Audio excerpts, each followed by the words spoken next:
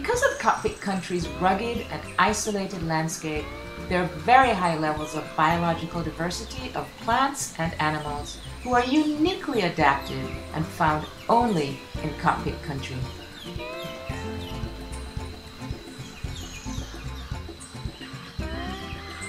Cockpit Country is snail heaven with the highest density of endemic snails in the world. Snails need calcium carbonate to build their shells, so they love Cockpit Country because of the high levels of calcium easily available in the limestone. Snails carry their homes on their backs, so when it starts to get too dry outside, they can temporarily seal themselves up and wait until the next rains to bring moisture back to the ecosystem.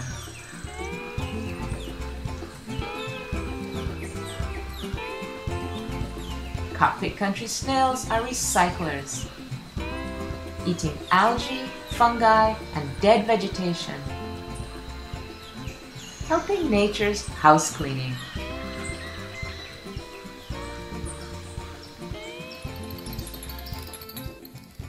Half of Cockpit Country's karst limestone geology is underground, and this includes caves that make great homes for bats. Bats are the most numerous of Jamaica's mammals with 21 different species. Though Jamaicans call bats rat bats, bats are mammals who suckle their young and have hands that evolved into wings which allow them to fly.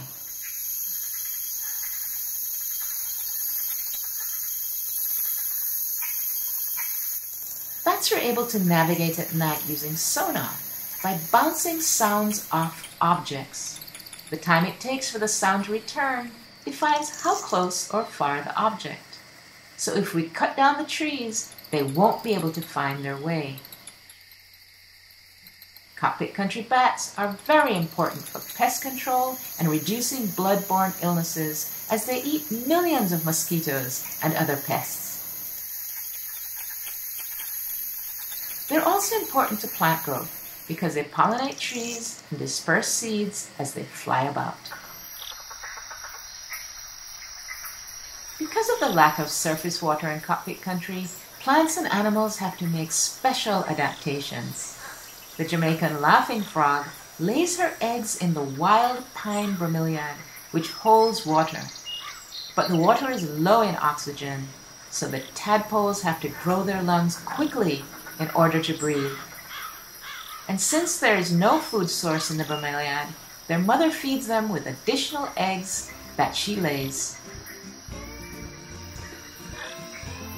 Cockpit Country is home to five of Jamaica's nine endemic snakes, including the endangered Jamaican boa or yellow snake, which lives in limestone forests.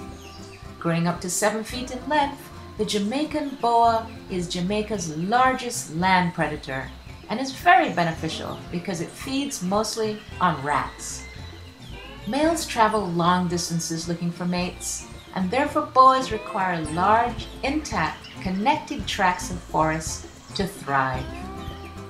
Like all snakes, the boa uses its tongue to smell the air, to help find food, to find each other, and to find its way home. The boa is not poisonous, is primarily nocturnal, and quite shy of humans. The Jamaican boa is protected under the Wildlife Protection Act, so if you see one, just leave it alone. It won't trouble you at all.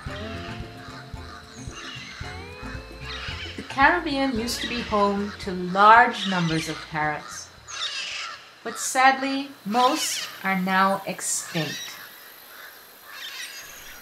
and Cockpit Country is the only viable habitat for the endangered and globally important Jamaican black-billed parrot, and the only region where both the black and yellow-billed parrot occur in significant numbers.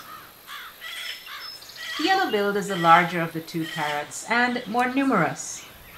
Both parrots require large areas of forest to nest and to feed so deforestation is a threat to their very existence. Both the black and yellow-billed parrot are protected under the Wildlife Protection Act. So it is illegal to harm, kill, or capture them or destroy their nest trees. Cockpit Country has more plants and animals threatened with extinction than any other place in Jamaica or in the Caribbean.